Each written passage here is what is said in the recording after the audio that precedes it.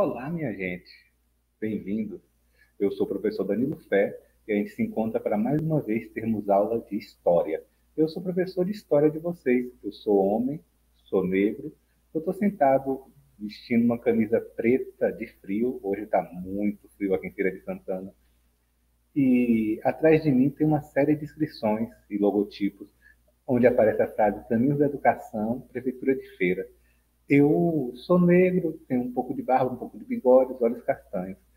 E é isso, galera. Bora para mais uma aula de história. Hoje eu vou abrir aqui o slide. A gente vai conversar sobre cidadania. A cidadania na República do Brasil. Tá aí uma foto do Marechal Deodoro, né? uma foto desenho animado proclamando a República do Brasil. Pois bem, é necessário voltar.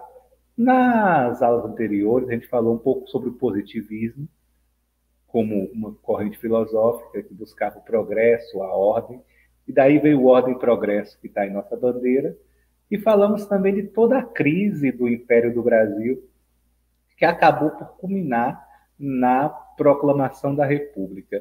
E hoje a gente vai trilhar os primeiros anos da República analisando a participação popular.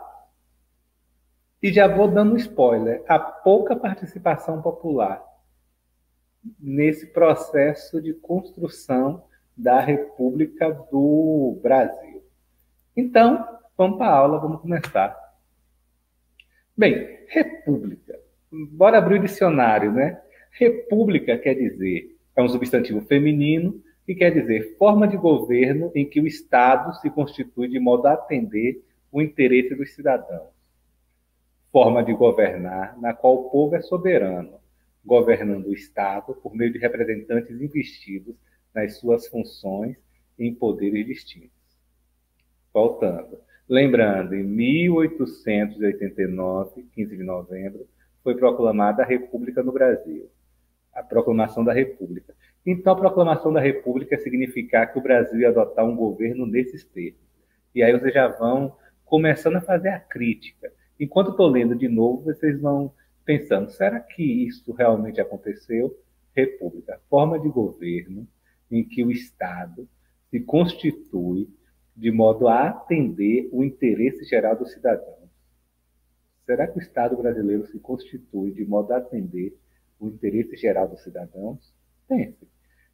Forma de governo na qual o povo é soberano, governando o Estado. O povo governa o Estado, por de representantes investidos nas suas funções em poderes distintos. Isso é república. A gente vai continuar né, é, trabalhando com dicionário e bora ver o significado de cidadania. As duas palavras-chave da aula de hoje. Cidadania, qualidade ou condição de cidadão condição de pessoa que, como membro de Estado, se acha no gozo de direitos que lhe permitam participar da vida política. Cidadão é quem participa da vida política. Bom, né? Bonito. E aí vai. Será que no Brasil isso realmente é efetivado? A gente vai conversar sobre isso na aula de hoje. Bem, é, eu trouxe essa imagem aqui, que é uma imagem que eu já trabalhei na aula passada, que é a proclamação da República. Quais são os grupos sociais que você identifica na foto? Bem, se eu olhar bem essa foto, o que eu vejo são militares, uns militares a pé, outros a cavalo, alguns militares conduzindo canhão, mas o que eu vejo são membros do exército. E aí vem a segunda questão: onde estava o povo? Tem um historiador que responde bem essa questão. O povo estava assistindo a tudo pela janela de casa, sem entender muito bem o que estava acontecendo. Essa proclamação da República não foi um movimento popular, foi basicamente um golpe de Estado dado por militares que estavam insatisfeitos com o imperador e resolveram tirá-lo. Mas a massa da população não participa. Isso é importante. Isso é importante para entender tudo que vem depois. Ou seja, o movimento que deveria levar ao povo, o, o povo ao poder, ele acontece sem povo, ele acontece só com militar. Essa é a primeira crítica e a primeira coisa que vocês vão guardar. Ou seja, já viu que a República, o, o tipo de regime que o povo está no poder. A gente já viu que a cidadania, quando o povo tem direitos, e a gente vê que a proclamação da República no Brasil, que deveria ser a chegada do povo ao poder, se deu sem o povo. Contradição. Mas bora seguir em frente. Uma vez a República proclamada, ela precisou criar leis, né? Leis republicanas.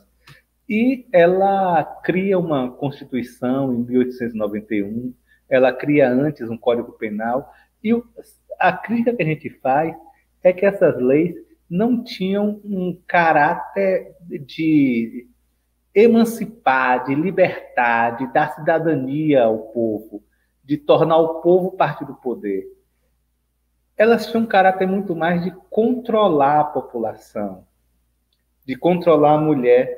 É, de fato, a cidadania, por exemplo, a mulher casada no Brasil era bem restrita, de controlar o negro. Lembra que a escravidão acabou, né, uns dois anos antes.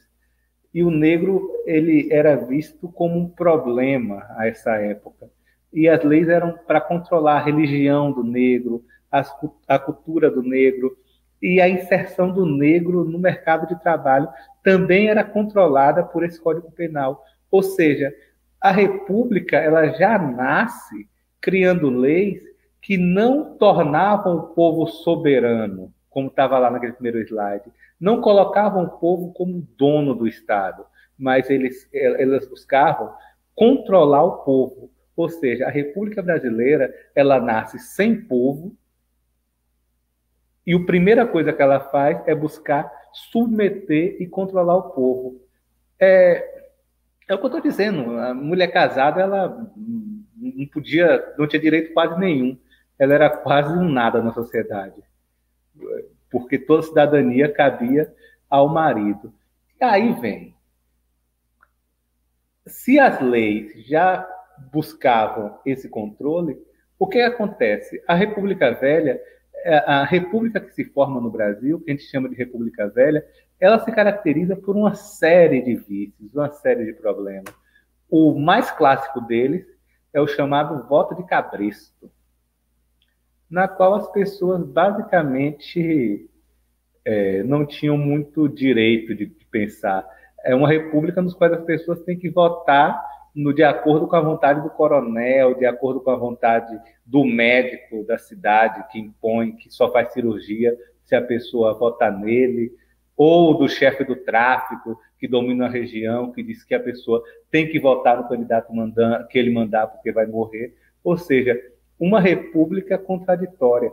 E várias outras contradições essa república está manifestando. Por exemplo, é, a maioria dos presidentes que chegou ao poder não chegou na forma do voto. Há muito presidente que chegou pela, pela forma de golpe, pela forma de, de violência, nesses anos de república no Brasil.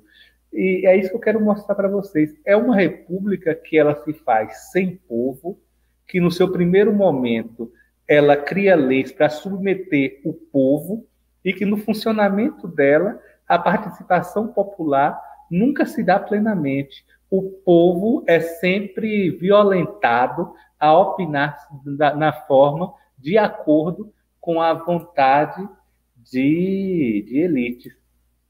E o, um, um outro elemento central que é necessário a cidadania, a participação popular e a uma república que dê, que, que dê certo é a efetivação de direitos. E a República Brasileira não conseguiu isso. O direito à educação, o direito à saúde, o direito à liberdade de opinião, em vários momentos da República, eles foram caçados, foram desestimulados e foram até anulados em, muito, em, em muitas fases da República. Ou seja, esse é mais um dos fracassos que a República Brasileira foi acumulando um movimento que nasceu sem povo, que nasceu sem participação popular e que veio submetendo um povo. Então, quer dizer que o Império era melhor, professor? Não sei. Isso é uma questão que cada um vai ter. O que eu estou dizendo é que a República ela não realizou aquilo que ela prometeu. Longe de mim chegar aqui e dizer que o imperador tem que voltar. O que eu estou argumentando é que é necessário que a República ela seja repensada, desafiada e levada a, de fato, se realizar na vida do brasileiro. Uma coisa que não aconteceu ainda. Então é isso, pessoal. O foi que a gente estudou hoje? A gente estudou que a participação popular na proclamação da República foi muito pouca e vimos que a cidadania no regime republicano, ao contrário do que se esperava, foi bastante limitada no Brasil. E agora chegou a hora de vocês participarem, né? Se a República não deu participação, eu vou dar participação a vocês. Eu quero ouvi-los. E quero ouvi-los como? Na forma da boa e velha tarefa vocês vão pegar o caderno de vocês e vão dizer para mim qual o significado de democracia e cidadania. Vamos falar um pouco sobre a participação popular no movimento de proclamação da República, falei disso várias vezes. E quais os desafios, e aí é, talvez seja a questão mais importante, quando vocês vão dar a opinião de vocês. Quais os desafios você considera que a República Brasileira precisa enfrentar daqui para frente, visando a sua real consolidação? Qual o dever de casa? qual foi aquilo que aquele movimento republicano não conseguiu realizar e que você acha que precisa realizar daqui para frente. A opinião de vocês é importante e eu quero ouvi-la. É isso, pessoal. Deixo com vocês o meu muito obrigado pela atenção, ansioso para revê-los e um abraço. Bora fazer essa república funcionar. Bora garantir que o povo realmente tenha um poder no Brasil e não seja dominado pelo Estado. Um abraço, cheiro, tchau.